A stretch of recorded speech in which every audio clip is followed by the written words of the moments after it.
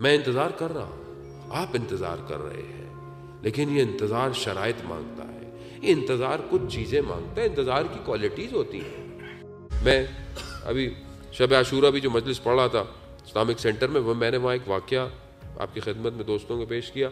लेकिन मैं last time Karbala में गया और अभी मार्च के अंदर तो मेरी फैमिली भी साथ थी, मेरा बेटा भी साथ था। बेटा बहुत ज़िद किया कि मैंने जाना है हरम। जो दोस्त बैठे होंगे, उनको ये वाक़ जहन में होगा। मैंने भी जाना है हरम। मैंने भी जाना, ज़िद किया कि आप रात को जाते हैं, इबादत करते हैं, हम भी जाएँगे। खैर, वो मैं थका हुआ था तो मैंने अपने ब्रदर इन लॉ के साथ अपने बेटे को भेज दिया। वो चला गया। मैंने उसको ये कहा कि हज़रत अब्बास की ज्यारत कर कर वापस ले आएगा, ये इतनी देर जागेगा नहीं। खैर, वो चला गया। बच्चा था, ज़िद करता करता हरम इमाम हुसैन तक चला गया।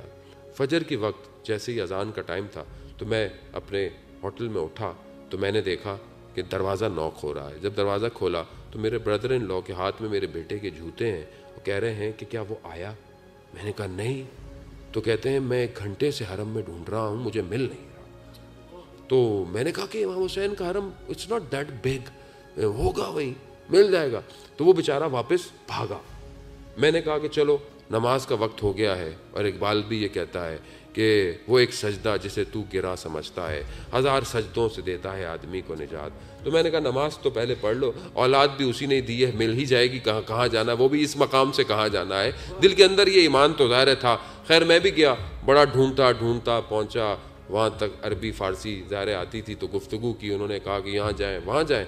खुलासा बड़ा ढूंढा, बच्चा नहीं मिला। कहीं वो मुझे टकरा जाता था, मेरा बर्दन लो, वो भी ढूंढ रहा होता था, ऐलान करवाया, ये कराया, बच्चा नहीं मिला, वक्त गुजरते जाने लगा। लेकिन जैसे ही टाइम फ्रेम बढ़ता गया, इस तरह बढ़ता गया, क्योंकि बच्चा समझदार है, बड़ा है, फारसी आती है, उर्दू आती है, इंग्लिश आती है, उसे पता था कि, उसको ये भी पता था होटल कहाँ है। तो ये ज़्यादा परेशानी थी कि गया कहाँ। खैर, और काफ़िले के लोग, जवान सब आ गए, बड़ी कोशिश करते रहे। उसी असना में हरम में जब कई चक्कर लगे, कई चक्कर लगे कोने कोने पर तो मैंने इमाम हुसैन की जरी के सामने कहा, मौला, ये तो मैं जानता हूँ कि आप जानते हैं बच्चा कहाँ है। दुनिया में कहीं हो तो आपको पता, ये तो आपके हरम से बच्चा कहीं गया है। कैसे हो सकता है क्या आपको ना पता हो? लेकिन क्योंकि मैं थोड़ा कमज़ोर हूँ, औलाद है, ज़ाहिर इंसान जो है वो एक हद तक जो है वो बर्दाश्त। ऐसे ही में मैं जरी के जो मेन गेट है बड़ा, उससे गुज़रा तो ऐसा एक हवा का झोंका आया कि एक पैगाम आया, कहा कि तुम्हारे बच्चे को खोए हुए कितनी देर हुई है?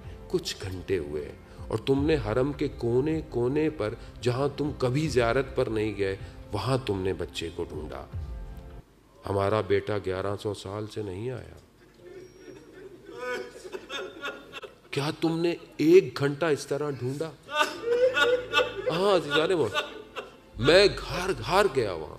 मैं, जो कि हौजे का तालब इल्म, मैं, जो कि हर रोज़ सुबह दुआ अहद पढ़ने वाला, मैं, जो हर हर वक्त अल अजल अल अजल करने वाला, हार गया, गिर गया, मैंने कहा, मौला, माफ़ कर दीजिए।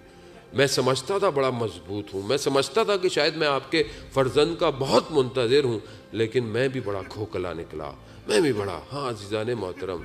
बच्चा बाद में मिल गया। वो तो खुद जरी के पास सो रहा था। किसी को नज़र ही नहीं आ रहा था। शायद कोई मौला दिखाना ही नहीं चाहते थे। वो तो बिल्कुल जरी के पास आराम से सो रहा